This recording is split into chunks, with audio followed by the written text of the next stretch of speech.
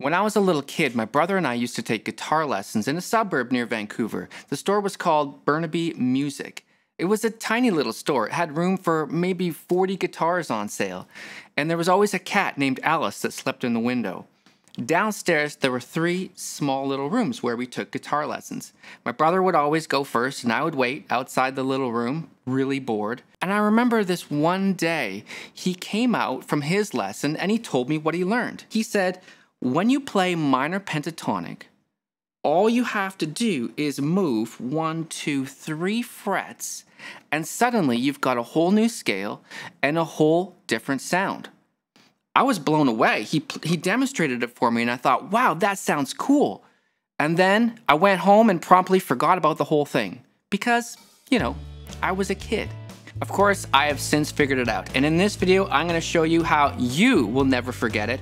And we're gonna use this trick to take any lick in minor pentatonic and move it into major pentatonic and back again.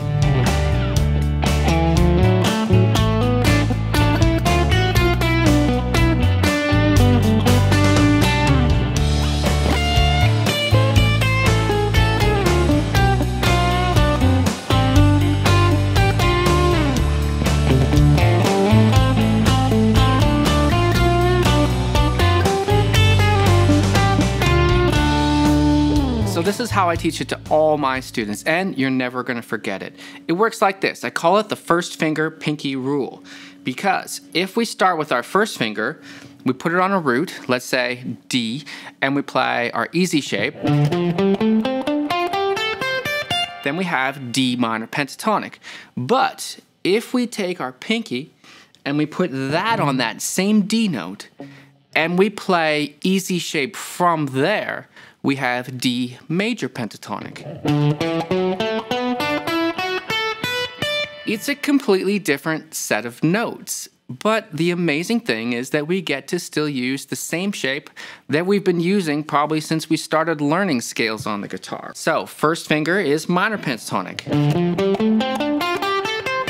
That's for bluesy, rock and roll, kind of mean sounding stuff. And pinky is major pentatonic.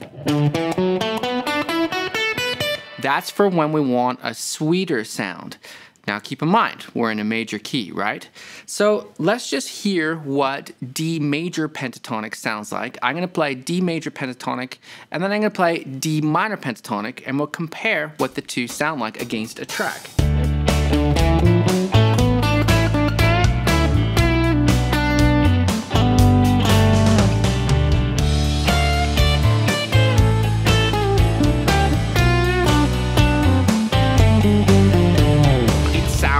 Really cool, right? They are very different sounding scales, and we can use one or the other whenever we're in a major key on some pretty basic chord sequences, which is what we get usually in rock music and pop music and the blues and folk music and country music. Because what we're doing right now is we're playing over a major key.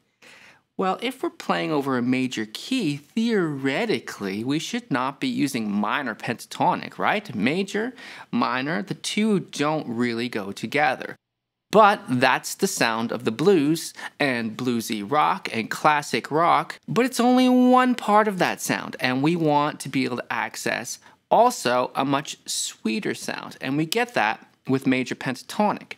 So now, forevermore, you're going to remember how to get from one to the other. And that's what we're going to do. We're going to move from one to the other. So now if I said to you, play a lick in minor pentatonic, and then take that same lick and alter those notes so that it fits in a major pentatonic, you might say, whoa, whoa, whoa, that's hard. I got to calculate what are the, the sharps in that key, and then I got to change a minor third to a major third.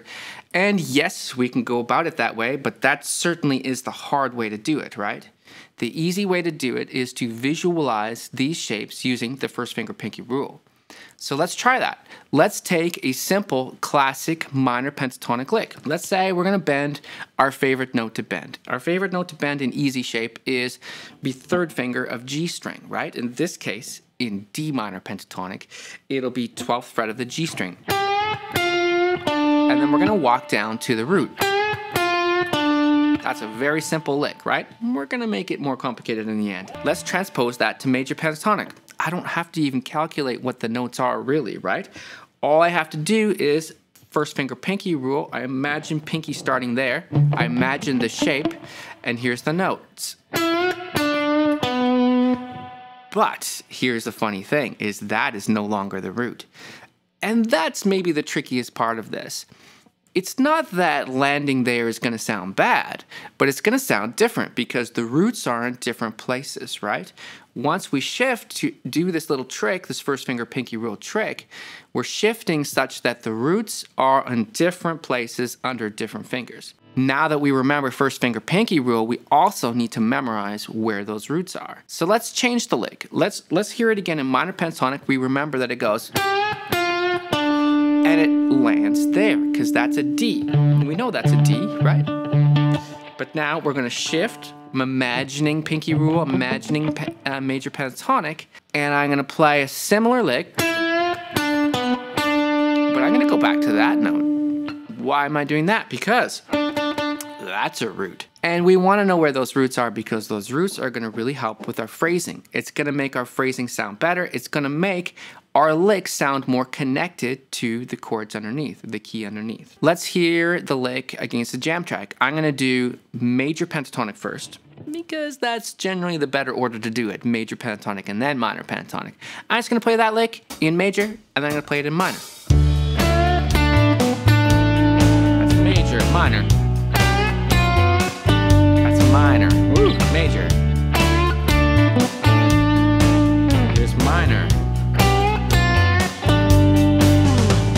So I kind of changed the rhythm there to make the phrasing fit because in order to land on the root with major pentatonic, I had to go back to another note, right? I had, I wanted to go back to that one.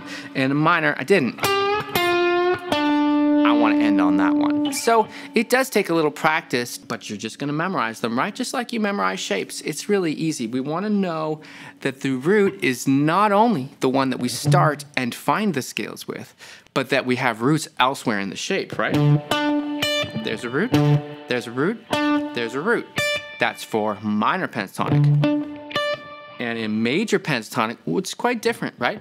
Pinky's on root, and then way up here, first finger, on the G string as root.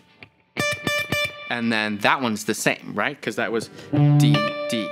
On my website this week, we're gonna have a free cheat sheet on this first finger pinky rule that you can download. And on my Patreon, we're gonna have tabs from this lesson, plus this jam track, plus bonus practice tips, all on the subject of first finger pinky rule. The links are below. So let's try a longer lick. I'm gonna do a lick in major, and then I'm gonna do a very similar lick in minor. I might alter it again slightly because I might want to change where it lands. Major.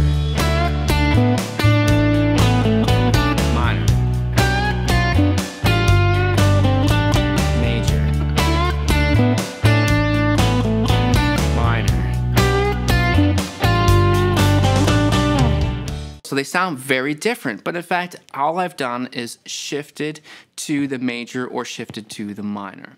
Now here's the next amazing thing about this first finger pinky rule, and that is that there's a blue note that exists also in major pentatonic, and it's in the same spot.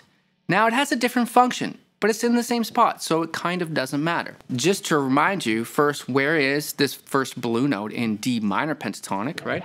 I put my first finger on D and I walk up. There it is right there. And we visualize where that is in the shape. Now, it's in the same spot for D major pentatonic, or the same relative spot, we could say. So I put my pinky on D instead, and there mm-hmm. it is already, right? Because I'm starting on pinky. I'm not starting here on first finger. I'm starting on pinky. And there it is. It's in the same place. I walk from D through the blue note to the root again. Let's do it in minor pentatonic from the root through the blue note to the root.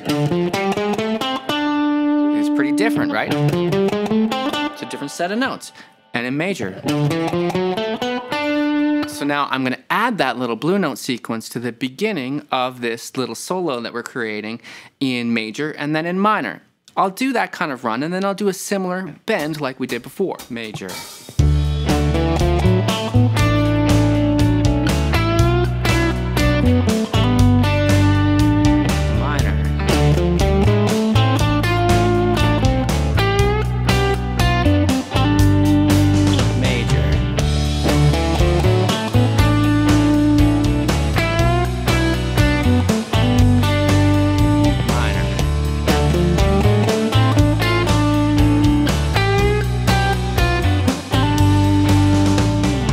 Not likely to switch from major pentatonic to minor pentatonic in quite the way I'm doing here. This is for, you know, illustrating what it sounds like. But we are very likely to use both in a solo. The more typical way to do it is to switch to minor pentatonic on certain targets, shall we say. Now, I've talked about some of those other targets in some of my other videos, but in this one, what we're going to talk about is just when we want to raise the intensity, we can switch to minor pentatonic. If the chord sequence is simple, we can actually do it on any chord. It doesn't really matter. But in this case, we're waiting for the greater intensity that we want.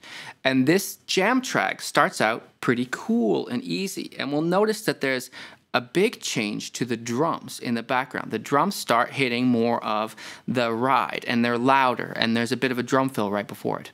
We're going to use that moment, that intensity to change from the sweet major pentatonic to the more rockin' minor pentatonic. I'll improvise something here to show you what I mean, and I'll tell you when the switch is happening. Here's major.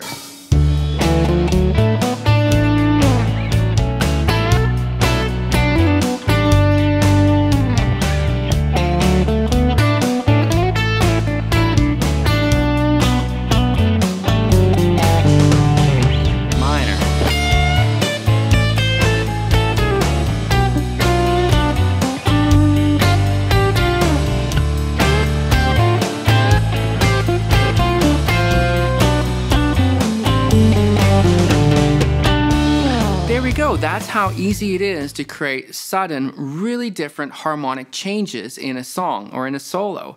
And all I had to do was use easy shape. I didn't even have to change out of easy shape. I just had to use my first finger pinky rule to find the different major and minor. But we can move out of easy shape, right? Because just as minor pentatonic shapes have a sequence from easy shape, shape one, to extension shape, shape two, right, to shape three, to shape four, funny B string, and shape five, major pentatonic works the same way. And of course, it's in the same order. So just as if you've memorized all your minor pentatonic shapes, you have already miraculously memorized all your major pentatonic shapes because they're all the same. The only difference is the roots are in different places. But that's okay. It's not that hard to memorize. And you can use your ear on it for now, right? So let's find a very different place to play major pentatonic and minor pentatonic. We're going to stay in the key of D, but in this case, we're going to find the root on the A string. There it is there, right? Fifth fret of the A string is a D. So if I have my first finger on that D, what shape do I have? Anyone thinking? It's funny B string shape because Funny B string shape has its root on the A string first finger when we want minor pentatonic. There's the funny B. Right? A lot of people call that shape 4. I call it funny B string shape. Now, here's the amazing thing. First finger pinky rule. It still works here because first finger was here for minor pentatonic put pinky on that same note, D, right there, and play funny B string shape. From there, we get D major pentatonic.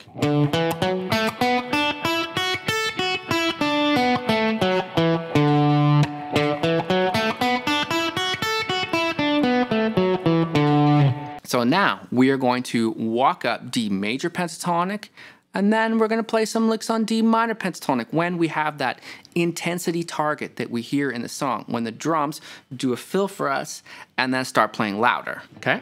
Here's major.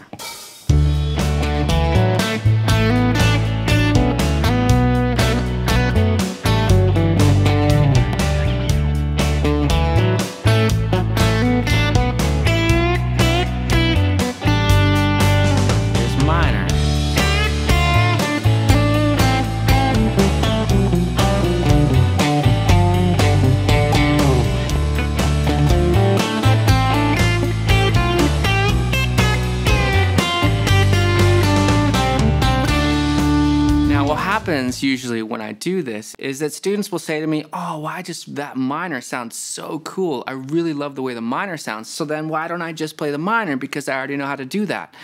But you know what's making the minor pentatonic sound so cool there is that we have the contrast of major pentatonic before it. And when we do that shift, it's what makes audiences go, oh yeah, that sounds so cool. It's that harmonic change that makes the minor pentatonic sound so cool. And without it, yeah, minor pentatonic is still cool, but it's not that cool. So just as the blue notes in the easy shape of minor pentatonic and major pentatonic are in the same relative position, that is also true for funny B string shape for shape four, right? So in D minor pentatonic with first finger on D, the blue note is right here. For major pentatonic then, pinky on D, it's right here. It comes earlier, right? Because we're starting on the pinky already. So that blue note's right there. Easy. So let's see if we can put it all together. We're going to do some major pentatonic and funny B string shape, and then I'm gonna shift up to major pentatonic and easy shape. And then I'm gonna shift to minor pentatonic easy shape. Here we go.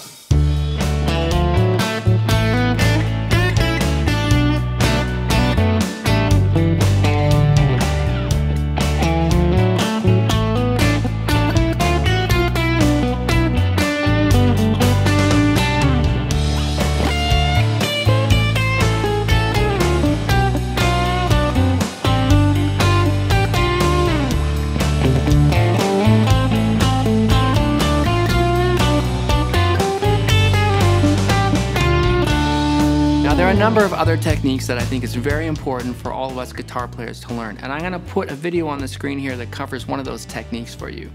You could also check out our Patreon where we have loads more similar content, including soloing tips, practice tips, uh, scales tips, chord tips, and master classes on songs. So you can check that out, the link is below.